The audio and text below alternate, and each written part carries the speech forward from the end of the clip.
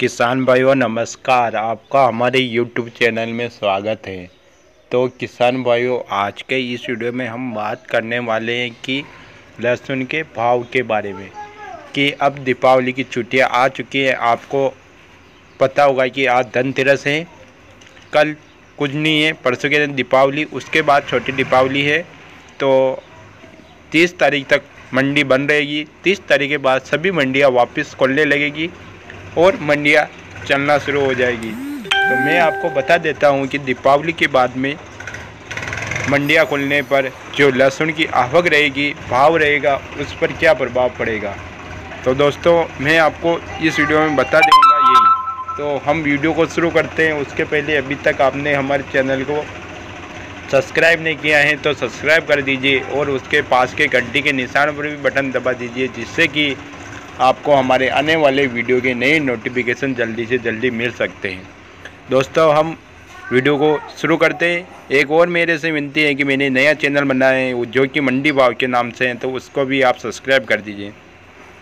दोस्तों, अभी हाल फ़िलहाल की बात करते हैं तो आज से तो मंडी बने, पर इसके पहले की बात करते हैं तो लहसुन में अपन को मंदी दिखाई दी, जिसका कारण ये रहा है कि जो किसान भाई त्यौहार का समय आ गया है, दीपावली आ गई है तो उनको कुछ सामान खरीदने के लिए नकदी रुपए की ज़रूरत होती है, क्योंकि त्योहारों पर जो हिंदू पर्व के लोग होते हैं, जिनको पैसों की ज़रूरत होती है, नकदी रुपये की ज़रूरत होती है, उसके लिए वो अपना माल मंडियों तक पहुँचा रहे थे, जिसके कारण आवक बढ़ गई थी।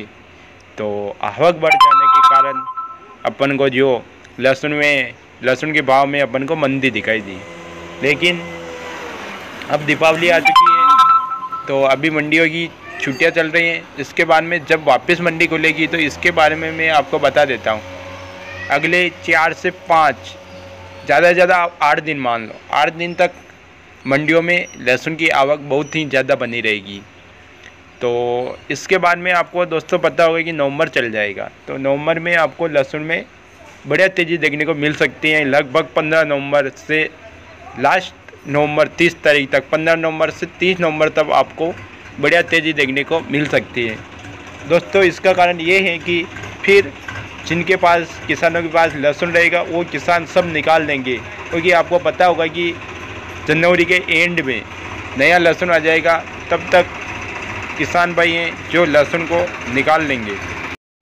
तो दोस्तों, मैं लहसुन के भाव की बात करता हूँ तो जितना आपको पहले जो भाव गिर चुका था, वो चार से पाँच हज़ार बीस से बाईस हज़ार, पच्चीस हज़ार तक आपको भाव देखने के बाद में मिल सकता है दोस्तों। तो आप अपने लहसुन को नवंबर, दिसंबर महीने में आप पूरा माल आपका निकाल देवे।